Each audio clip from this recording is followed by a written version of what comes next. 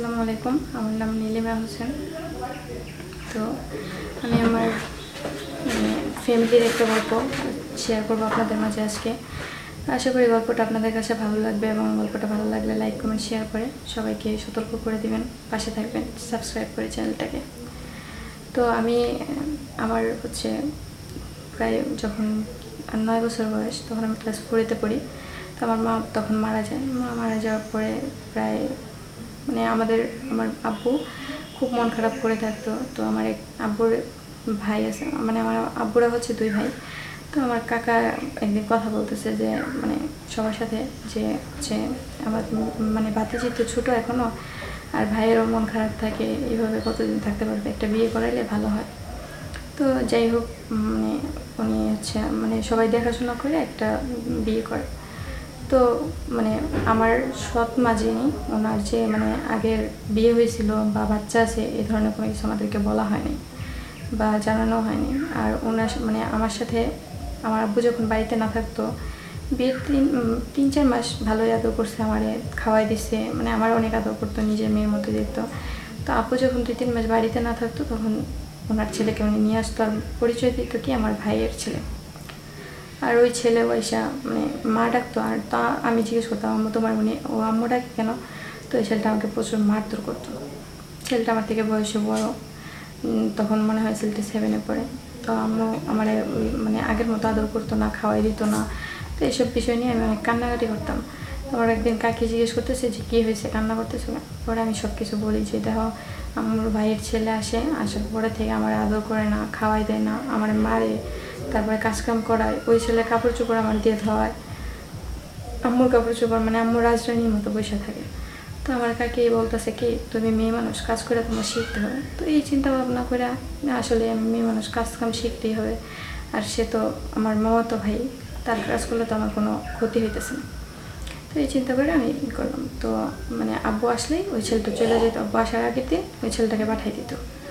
তো এইভাবে প্রায় অনেক দিন যাওয়ার পরে আমার আব্বু সিদ্ধান্ত নেয়। যে আমাদের আর্থিক অবস্থাও খুব খারাপ আর ঢাকা শহরে এইভাবে মানে আমি একা কাজ করে পারতেছি না। বিদেশে চলে যাব। তো আমার আব্বু দুই, তিন মাসের মধ্যে ভিসা পাসপোর্ট রেডি করে হচ্ছে বিদেশে চলে যায়। যাওয়ার পরে মানে আমার ছোটো মার আচরণ এতই খারাপ হইতেছিল আমার প্রতি দিন দিন। মানে উনি আমাকে দেখতেই পারতো না। তারপরে হচ্ছে ওই ছেলেটা আমার প্রতি মানে খারাপ নজরে তাকাইতো। আমি যদি এটা বলতাম তাহলে আমাকে মারতো। তো একদিন আমি পড়তেছিলাম, ওই ছেলেটা পিছন দিয়ে যাই আমার বুকে চাপতে। তারপরে আমি চিৎকার মারি চিৎকার মারার পরে আমার মানে আব্বু চলে যাওয়ার পরে ওই ছেলেটাকে আমাদের বাড়িতে একদম নিয়ে আসে। ওই ছেলেটা এখানেই থাকতো, খাইতো, পড়তো। পরে হচ্ছে মানে আমি আম্মুকেও বলি যে, আম্মু, আমাকে মানে ভাইয়া আমার বুকে চাপ দিছে। আর উনি আমার গালে কামড় দিছে। মানে এইভাবে আমার বলছি, যা যা করছে আমার সাথে।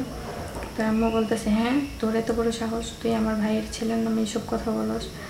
পরে একদিন মানে এভাবে আমাকে মারধর করার পরে আমি যে শুয়ে পড়ছি, না খাই।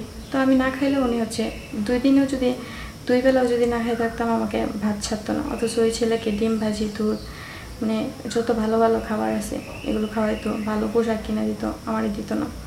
এভাবে ভালোই এক দেড় বছর চলে গেল। যাওয়ার পরে যখন আমি একটু বুঝতে শিখলাম, তো আমি একদিন মানে আমার আম্মুর কাছে আবদার করতেছি আমার না নানুর বাড়ি নিয়ে যাব, আমি অনেকদিন ধরে যাই না, ঘুরতে ইচ্ছা করতেছে না। তখন আমার স্কুল বন্ধ ছিল। তো আমি, মা আর মামাতো ভাই গেছি। যাওয়ার পরে মানে ওই ওদের নানুর বাড়ি যেয়ে দেখি মা মানে ওই ছেলেটা। যার পরিচয় দিছে যে ভাতি মানে মার ভাই একটাই। আর ওই ছেলে যাইয়া আম্মুর ভাইরে হচ্ছে মামা ডাকতেছে। তা আমি বলছি কি মানে মামারে জিজ্ঞেস করতেছে আচ্ছা মামা, ও তো তোমার ছেলে, তাহলে তোমার মামা ডাকে কেন? আর আমার আম্মু ডাকে কেন? পরে মামা বলতেছে কি, তুমি ওইসব বুঝবে না, ছোটো মানুষ। তো আমি তখন হচ্ছে মামা তো বোন আছে একটা বোনকে জিজ্ঞেস করি। করার পরে বলতেছে কি, ও তো আমার আপন ভাই না, ও তো আমার খালাতো ভাই, তোমার আম্মুরই ছেলে। তোমার আম্মুর আরেক জায়গায় বিয়ে হয়েছিল, হওয়ার পরে হচ্ছে ওইখান থেকে ডিভোর্স হয়ে গেছে, আর আমাদের ভাইয়া, ভাইয়াকে নিয়ে তোমার আম্মু চলে আসছে। আর তারপরে তোমার আব্বুর সাথে আম- আমার খালামণি বিয়ে মানে পুকুর বিয়ে হয়েছে। তো এটা শোনার পর আমার মাথা মানে একটু ই তো আমি তার বড়দের বিষয়ে না গালাইতাম না, জানতাম না।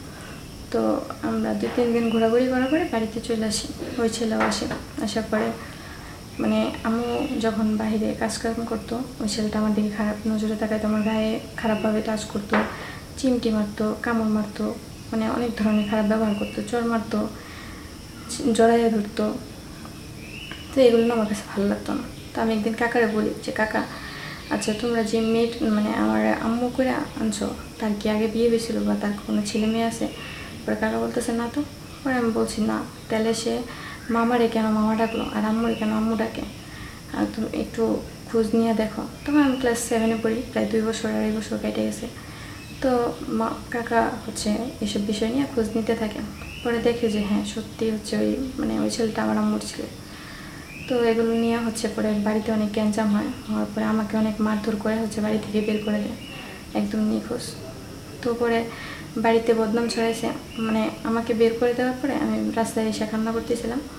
তো আমার এক জেঠু আছে, উনি জিজ্ঞেস করতেছে, কী হয়েছে? আমার আব্বুর খুব ক্লোজ বন্ধু। তো আমি বললাম যে এই ঘটনা। পরে বলতেছে আচ্ছা ঠিক আছে, তোমার বাড়িতে যেতে হবে না, তুমি আমার বাড়িতে চলো। আমি জেঠুর সাথে জেঠুর বাড়িতে যাই, যাওয়ার পর আব্বুর সাথে ফোনে কথা বলি। পরে আব্বুর সব ঘটনা খুইলা বলি। খুলে বলার পরে আব্বু বলতেছে আচ্ছা ঠিক আছে, তুমি ওইখানেই থাকো, তোমার বাড়িতে যাওয়ার দরকার নেই।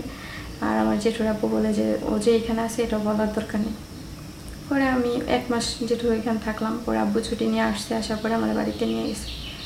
নিয়ে যাওয়ার পরে আমার আম্মুরে সব কিছু বলে যে, আমার মেয়ের মেয়ের কারণে আমি তোমার বিয়ে করছি। আর তোমার যে ছেলে আছে, এটা তো বলো নাই আমার মিথ্যা অপবাদ মানে মিথ্যার সুযোগ নিছো তোমরা। আমার টাকা পয়সা দেখে, আমার মানে আর্থিক অবস্থা দেখা। পরে মানে অনেক ই হয়। হওয়ার পরে আমার পরিবার ডাকে এখানে, নানা নানুরে ডাকে, মামারে ডাকে। তো সবাই পরে স্বীকার করছে যে হ্যাঁ আমরা এটাই করছি কারণ তোমার ভালো লাগছে, বিদায় জামাই হিসেবে আমরা আমাদের মেয়ে বিয়ে দিছি।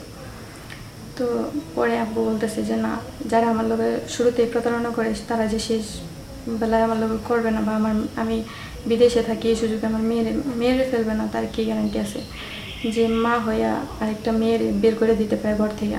আমার মেয়ে তো এখন বড় হয়েছে ওর প্রতি যে কোনো মানুষের একটা আকর্ষণ আসবে। আমার মেয়ের যদি একটা ক্ষতি হইতো, পরে এগুলো নিয়ে অনেক দরবারশালী হওয়ার পরে আব্বু ওই মহিলাটাকে মানে ছেড়ে দেয়। ছেড়ে দেওয়ার পরে হচ্ছে মানে ওই ছেলেটা মানে আব্বু বলতেছে মানে আব্বু সিদ্ধান্ত নিছে যে হচ্ছে মহিলাকে আর রাখবে না। তো আব্বু একদিন দুপুরবেলা মানে বাহিরে গেছে মানুষ আছে না ঘুরতে বেরোবে ঘুরতে বের হয়েছে, আমি ঘরে শুয়ে রয়েছি এর মধ্যে যাইয়া আমার মানে সৎমার যে ছেলেটা এই ছেলে যাই হচ্ছে আমার সাথে, আমার মানে ঘুমের মধ্যে হাত পা বাইন্ধে আমার সাথে শারীরিক সম্পর্ক করছে। করার পরে হচ্ছে মানে এগুলো ভিডিও করছে। করার পরে আব্বুরে, আব্বু আসছে বাসায়, আসার পরে আম্মু ওইগুলো দেখাই দিতেছে। তো আপু তো মানে আগের যুগের লোক তো ফোন বিষয়ক বা এইসব বিষয়ে কিছু বুঝতো না। তো আব্বু এই বিষয়টা মানে আমি অনেক কান্না করতাম, ঘর থেকে বের হয়ে দিত না আমার সৎমা। মানে ওনার চিন্তা ভাবনা হয়েছে ওনার ছেলে নিয়ে ও আমার আব্বুর সাথে সম্পর্ক করবে, যার জন্য আমার এইসব ক্ষতি করছে। তো ওই ছেলেকে দিয়ে মানে আমার উপর শারীরিক চর্চা করাইতো দুই, তিন দিন এইভাবে যাওয়ার পরে আমার মানে নিজের বাবা তো আর এইসব সহ্য করতে পারে না দেখা। তো একদিন রাতের বেলা আম্মুর ফোনটা আমার আব্বু চুরি করে নিয়ে হচ্ছে একটা আব্বুর একটা ফ্রেন্ডকে দেখা দেখানোর পরে হচ্ছে ও বলতেছে, এই মহিলা রাখা যাবে না। যে নিজের মেয়ের ক্ষতি করতে পারে মানে সতীনের মেয়ে মানে তো নিজের মেয়ে। ও তো মেয়ে দেখেই বিয়ে করছে। তো এটা হচ্ছে ওর ফ্যামিলিকে দেখানো হয়। দেখানো হওয়ার পরে আব্বু বলতেছে, কোনোভাবেই সম্ভব নয় মহিলাকে রাখা। পরে হচ্ছে মানে ওই মানে আমার আম্মুকে, আব্বু ডিভোর্স দিয়ে দেয়। তো ওই ছেলেটাকে যাই হোক, আব্বুর সাথে যে মানে গোপনভাবে এই কাজটা করা হয়েছে আর আমার প্রতি যে অত্যাচারগুলো করা হয়েছে, আমি তো দেখা যায় যে আমার অনেক বড় একটা ক্ষতি হয়ে যেতে পারতো। তো যাই হোক, আমার মানে আমি হয়তো আমার জেঠু ছিল পাশে, আমার ফ্যামিলি ছিল পাশে, আমার আব্বু ছিল আমার পাশে। অনেক সময় দেখা যায় যে মা মারা গেলে বাপ তালু হয়ে যায়। কিন্তু না, আমার বাবা আমার পাশে ছিল, আমার বাবা আমার হেল্প করছে, এখন আমি ভালো আছি, লেখাপড়া করতেছি। বাট হচ্ছে ওই মহিলাটাকে ই করে দেওয়া হয়েছে। যাই হোক, যারা মানে ছোটোবেলায় সন্তান রেখে যদি কোনো মা মারা যায়, তাহলে যদিও বা আপনাদের বিয়ে করতে হয় বা সন্তান রাখার জন্য কোনো মায়ের প্রয়োজন হয়, তাহলে দেখে শুনে না যাই না শুনে বিয়ে করবেন। এমন ফ্যামিলি মেয়েকে আনবেন যে মেয়ে, মেয়ের মর্যাদা রাখতে পারবে। আমার মতো আমার মতো মেয়ের ক্ষতি করবে না। তো আশা করি গল্পটা ভালো লাগবে এবং শেয়ার করে পাশে থাকবেন।